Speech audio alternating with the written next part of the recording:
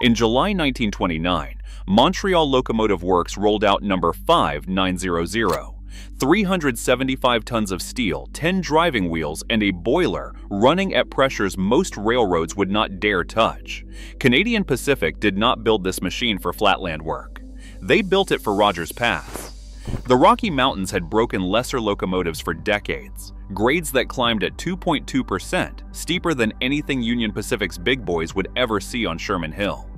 Curves so tight the rails bent into 12-degree arcs, forcing engineers to throttle back just to keep wheels from screaming against the inside rail.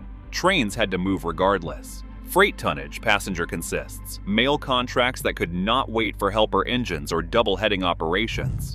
Henry Bowen, Canadian Pacific's chief of motive power, had watched smaller locomotives struggle up Field Hill for years. 462 Pacifics nursing their way through the spiral tunnels with Sanders wide open and fireboxes glowing white. The railroad needed something that could hit those grades alone and come back for more the next day. No helpers, no excuses. The Selkirk delivered 78,000 pounds of tractive effort, and the booster could add roughly another 12,000 pounds at low speed. Raw pulling force was distributed across 10 driving wheels, each 63 inches tall. The wheel arrangement kept axle loading within limits that would not tear up the track, even when those wheels were biting into a 2.2% climb with 1,000 tons behind the tender.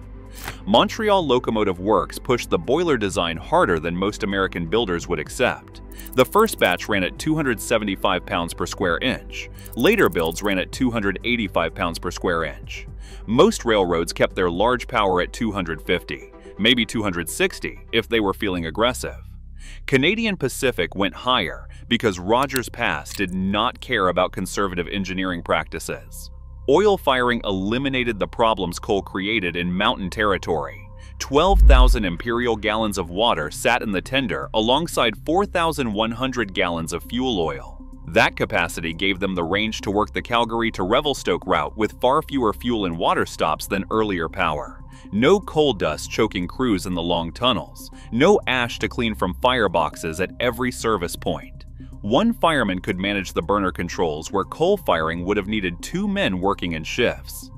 The experimental locomotive number 8000, built in 1930 with a triple pressure boiler system, proved how much fuel these machines consumed. On test runs against standard Selkirks, that locomotive burned 1,251 imperial gallons of oil and 12,850 gallons of water on a single trip. The locomotive achieved roughly 25% better fuel economy than conventional Selkirks, which means the standard engines were consuming even more. Henry Bowen championed that experimental machine, convinced that higher steam pressure was the future. He was right about the engineering, wrong about the economics.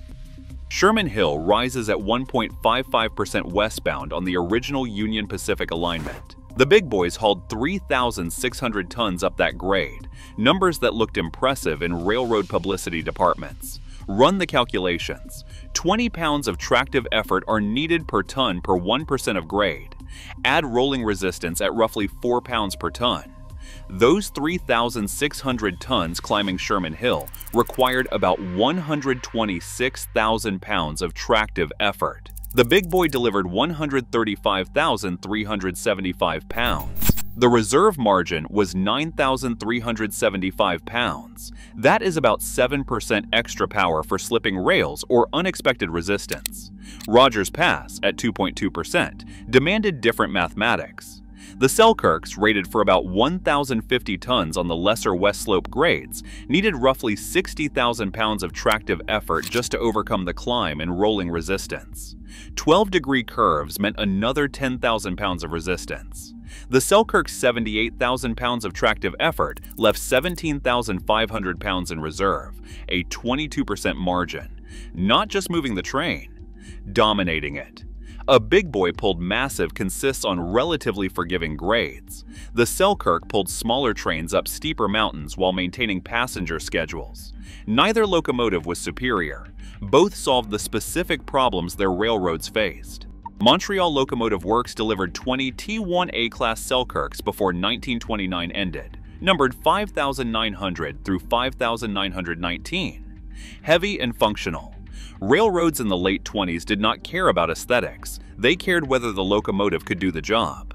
The T1B class arrived in 1938. Ten locomotives were numbered 5,920 through 5,929. Semi-streamlined casings matched the appearance of Canadian Pacific's Royal Hudson passenger locomotives.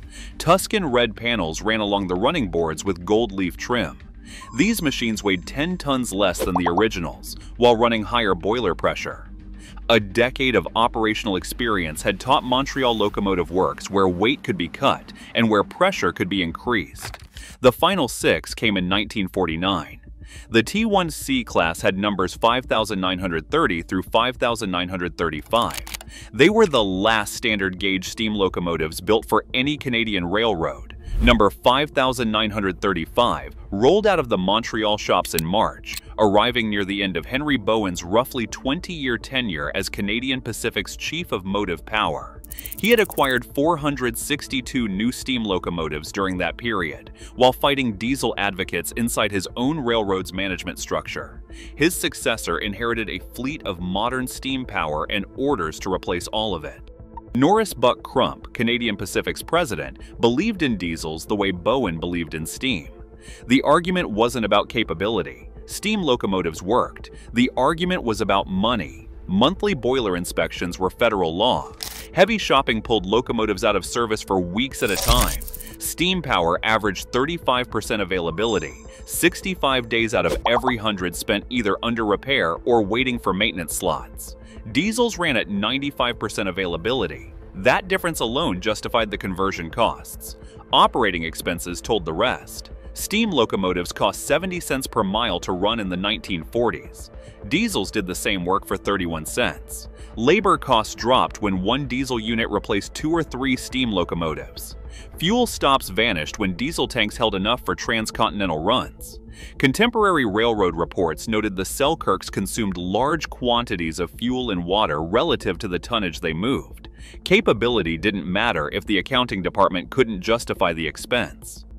Dieselization of the Calgary to Revelstoke route was effectively completed by 1954. The Selkirks moved to prairie assignments on the Brooks and Maple Creek subdivisions between Calgary and Swift Current, and on other freight duties on easier grades east and north of Calgary. They faced easier grades, longer consists, and work that did not demand sustained high mountain output. Their appearance changed with their assignments. Tuscan red passenger paint disappeared during heavy shopping at Ogden shops and was replaced with flat black freight livery.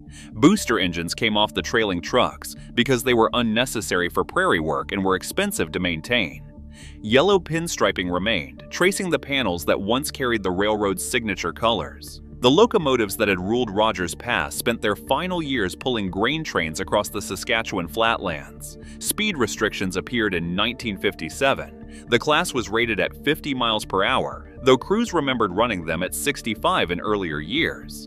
Age, reduced maintenance budgets, and simple caution as steam's end approached all played a role. The last Selkirks left service in 1959. The T1C class operated less than 10 years, short careers that barely gave Canadian Pacific time to recoup their construction costs. 34 went to scrapyards. Cutting torches separated boilers from frames, drivers from axles, everything reduced to steel for remelting. Two survived. Locomotive number 5931 sits at Heritage Park in Calgary, initially misidentified as 5934 during early display years.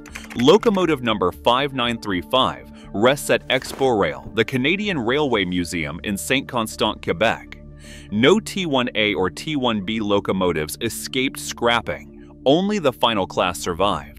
Modern diesel locomotives produce roughly twice the tractive effort while burning less fuel and needing minimal maintenance. A single contemporary unit handles work that once required multiple steam locomotives and their entire support infrastructure. Those 36 Selkirks were purpose-built for the worst grades on the Canadian Pacific system. They succeeded in territory that had defeated earlier designs. For 20 years, nothing in the British Empire matched them for mountain work. The mountains remain, and the grades have not changed. The machines that conquered them exist now only in museums.